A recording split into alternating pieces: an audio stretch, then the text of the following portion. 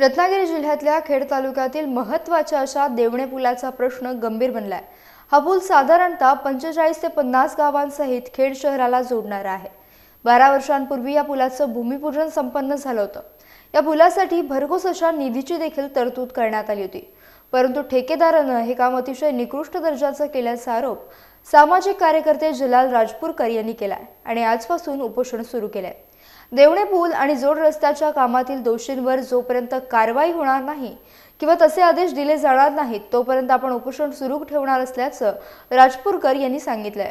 देवणे पूल व जोड रस्ता या कामाच्या दर्जाहीन काम नियोजनशून्य काम बांधकाम विभागाच्या सार्वजनिक बांधकाम विभागाच्या या नियोजन शून्य कामाच्या विरुद्ध या ठिकाणी मी आज उपोषणात बसलो आहे उपोषणात बसण्यापूर्वी वारंवार त्या खात्यातील उपअभियंता कार्यकारी अभियंता यांच्याशी संपर्क साधत होतो. तो संपर्क या ठिकाणी मी साधला. त्यां त्यानंतर त्यांनी मला चर्चेलाही बोलवलं. परंतु ज्या सूचना केलेल्या आहेत त्याचं कोणत्याही प्रकारे पालन केलं गेलं नाही. किंबहुना आपण जर काम बघितलं तर ते अगदीही ब- नियोजन शून्य काम आहे. प्रत्येक जी क्वांटिटी ठरलेली असते त्यांचं जे काम आहे जेवढ्या पैशाचं काम आहे तेवढे पैसे संपेपर्यंत त्यांनी काम करून घेतलं. परंतु त्याचा उपयोग जनतेसाठी किती होतं हे एक प्रश्नचिन्ह आणि संशोधनाचा विषय या ठिकाणी होईल. पैसे खरण्यासाठी खर्च करण्यासाठीच बांधकाम विभाग या ठिकाणी आहे का? असा प्रश्न या ठिकाणी उपस्थित होतो. सदर ते काम जे या ठिकाणी झालेलं आहे ते नियोजन शून्य आणि दर्जाहीन काम आहे असं माझं आरोप आहे. आरोप नव्हे मला खात्रीच आहे.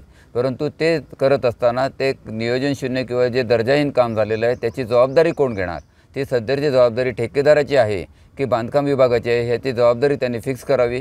यासाठी मी या ठिकाणी उपोषणाला बसलेलो. तसेच दोषींवर कारवाई व्हावी आणि ते काम योग्य पद्धतीने करून घ्यावं ही तेवढीच माझी मागणी या ठिकाणी आहे. मान्य कार्यकारी अभियंता यांच्याबरोबर माझं बोलणं झालेलं आहे. ते येईपर्यंत या ठिकाणी मी बसून बसणार आहे. चौकशी करून त्यांनी योग्य अहवाल मला देतील किंवा त्यांच्यावर कारवाई केल्याचं पत्र मला या ठिकाणी ते देतील. त्यावेळेला तुम्ही पर्यंत मी या ठिकाणी उपोषणास बसणार आहे.